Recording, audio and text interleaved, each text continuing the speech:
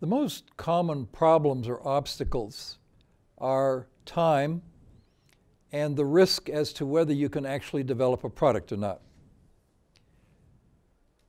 A study was done at Columbia University that talked about the time.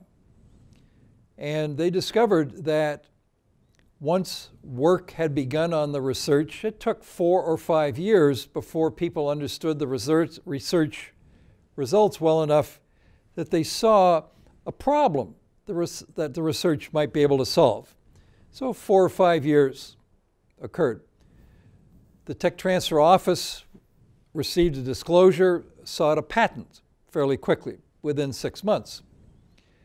And Columbia discovered that from the time the patents were sought, that the number of deals that they did to transfer the technology, it took time. They discovered that 30%, almost a third of the licenses that they signed on those technologies, were licensed to companies within three years of the submission of the patent. Beyond that, another 40% of the deals were licensed out in the next four years for a total of seven years. And then, believe it or not, there was another 30%. Almost a third of the deals took longer than that to pass the rights into the hands of the company. So there's that time frame four or five years, seven to maybe 10 years. And then finally, it depended on what the technology was and what the problem was as to when a product was discovered and taken into the marketplace. If it was a piece of software, it might take a further two years. If it was a medical device or a physical device uh, that was commercialized, it might take the company five years to take a product into the marketplace. And if it was a life saving drug, it might take another eight years while the uh, regulatory work was done, while the clinical trials were done to make sure that the drug worked properly and did not have unexpected side effects that might kill people. So all of a sudden you realize the time is very long. So one of the obstacles is time. But then you look at that time frame and look at the research career of the faculty members themselves. And from the time they get their PhD and begin work until they retire, there's at least a productive time period of 30 years.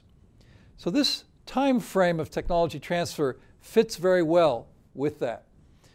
That's one of the obstacles. The other obstacle are risks. It may be that the idea works in the laboratory, but it doesn't work as a product. It doesn't scale up. It might be that the idea works well in the laboratory, but the company cannot make a product that's economical enough to be sold in the face of competition in the marketplace. And then finally, given the long time frames of development, it may be that as the work is being developed in a product, a competitive answer to the solution of the problem comes into the marketplace and you're out of luck. So the risk factor is quite high. It turns out that there are benefits even if the product is not developed well and it even fails in the marketplace. The process itself is beneficial to many people. And one of the reasons is the following Let's focus on the inventors and the faculty members, the researchers. Working on a problem is very creative, and it can lead to a practical solution so that the research of the group can help people eventually by saving lives, improving the quality of life, such as producing better foods, or increasing a company's competitiveness. There is an example here in Serbia of a university that wanted to transmit a map of underground wires to the cell phone of the utility workers. There was a discussion with the university that was interested in transferring the technology. I don't know, it's a process in place right now. So, for the involved individuals, it's stimulating. Uh, they can access new financial resources to propel the research forward. And if there's students involved, they get a sense of entrepreneurial approaches to solving problems, which is beneficial. Now let's look at the university as an institution. Universities historically have been seen as ivory towers, separate from society. It's a misperception, in my view. But this process allows the university to show the community that provides the money to hire the faculty at the university that the university is actually trying to solve real problems. So it becomes less of an ivory tower and is engaged in real problems, saving lives if it works. As far as the university is concerned, it shows the government who uses the taxpayers' money that it's a good investment. And even if the product doesn't get into the marketplace successfully, the faculty members who are involved have a new way to describe the impact or the benefits of the research through elevator pitches, explaining what they do, not in highly technical terms, but in terms that people really understand because it talks about the impact and the actual benefits. Now let's talk about the companies. The companies are in the marketplace. They're always looking for better ways of doing things, new solutions, new products, less expensively. A university might be working on a market problem that the company is interested in and decides that their current product is becoming out of date. And if they work with the university and transfer the knowledge to the company, and a new product is developed and introduced, and that works, the jobs are saved, or perhaps even more jobs are created in the company. The company improves its ability to market not only locally, but perhaps even uh, throughout all of Europe, or perhaps even globally, based on the creativity on the campus with this idea. So the company benefits.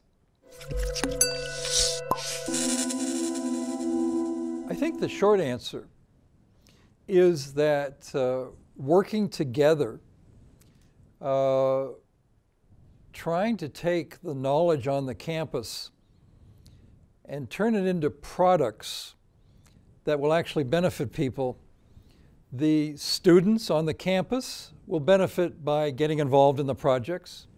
The faculty and the researchers uh, are working in new creative areas of problem solving. Uh, the companies have access to new ideas, which they can uh, acquire the rights to, make new products. And as a society, uh, Serbia will be able to have what I will call a virtuous cycle. The taxpayers will pay the salaries of the universities to both teach the students, who can then transfer the technology when they're hired by the company, or the faculty members themselves uh, can benefit um, by educating the students, transferring the technology. And at the end of the day, the Serbian society will benefit because the tax money is used to generate the ideas that are then transferred to the companies that hire people to develop the products, hire more people to manufacture the products, hire more people to sell the products not only locally uh, but outside the region and perhaps even like the Taxol globally. So the benefit of all of this complicated process is when it works, it really works well and has a huge impact. And even when the product fails to make it to the marketplace, the students and researchers and the companies have worked together in an effective manner uh, to help improve the economy locally.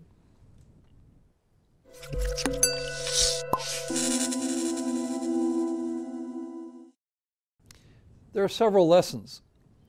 And one of the lessons is that these other countries are not better than what's happening in Serbia. It's just that we've been at it a longer time 40, 50 years. And so we've learned some things that we hope our mistakes will not be repeated as you continue to do technology transfer here in the country. That's one thing. The second thing is this is not a way to make a lot of money. These golden eggs occur once or twice in a decade somewhere in the world. So it will never replace government financing, taxpayer financing of the university in the basic research. The other very interesting things that are emerging right now is there are a lot of creative things happening on campuses that are important in the marketplace that are not protectable by patents, software, databases, and just general information. And these are very useful. And uh, in the countries that you've mentioned, people are now beginning to transfer the knowledge of these creative ideas without the patent protection and having an impact. This activity can be done very successfully here in Serbia. It can have a huge impact and on the marketplace and the quality of people's lives here in Serbia. And what it takes is a simple commitment of the government, the universities, the researchers, and the society itself to work through this complicated but very manageable process in the hopes that more of these opportunities will blossom into successful products or small new companies are formed. So I think these are the lessons learned that this is an activity that's worth being engaged in. There's a high rate of failure, there's a great deal of satisfaction, and eventually the golden egg may turn up somewhere in Europe, perhaps here even in Serbia. You never know. But what you do know if you don't try, it won't show up.